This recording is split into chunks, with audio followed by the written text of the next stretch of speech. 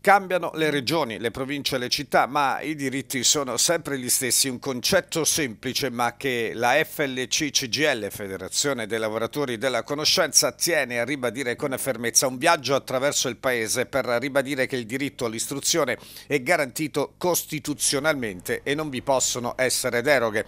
La conoscenza non si spezza, slogan a dir poco eloquente. Dopo aver attraversato le regioni del nord e del centro Italia, il camper ha cominciato proprio oggi il suo tour al sud. Prima tappa a Pescara.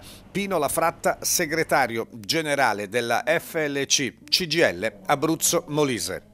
Noi pensiamo che la scuola unisce il paese e quindi siamo assolutamente contrari a questo progetto scellerato, a nostro modo di vedere, di autonomia differenziata. La scuola potrebbe essere uno dei settori più toccati, una scuola regionale, programmi regionali, eh, concorsi regionali, organici regionali eh, e anche stipendi che si diversificano in base alle regioni sono l'ultima cosa di cui il nostro paese ha bisogno. Sono altri i problemi della scuola, investimenti, risorse, contratti organici, stabilizzati valorizzazione dei precari e noi chiediamo eh, anche eh, a quelli che si candidano a governare questa regione di prendere in considerazione i veri problemi della regione e quindi dire no insieme a noi a questa riforma. Quali sono le eh, vostre proposte? Riteniamo che eh, sia necessario invece affrontare i veri temi nodali. Il primo è quello del precariato, abbiamo 6.000 precari in questa regione ed è il caso di iniziare un'opera di stabilizzazione per dare continuità didattica, pensiamo al sostegno, abbiamo 3.000 docenti precari sul sostegno, è una cosa che non è decorosa in un sistema eh, civile.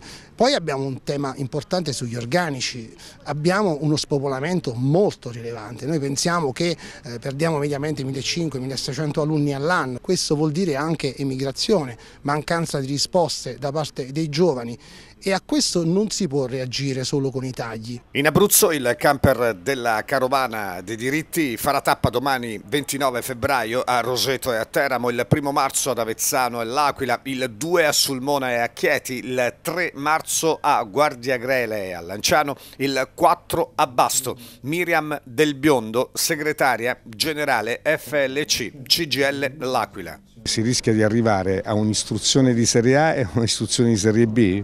Assolutamente sì, perché eh, questo poi dipenderà dal, dalle risorse delle regioni, quindi a, a, regione con minori risorse corrisponderà un'istruzione con meno risorse, con stipendi anche differenziati per quanto riguarda eh, i lavoratori e le lavoratrici scuo della scuola con chiaramente una grossa ricaduta sulla qualità dell'insegnamento e quindi sulla qualità della formazione dei cittadini e delle cittadine italiane.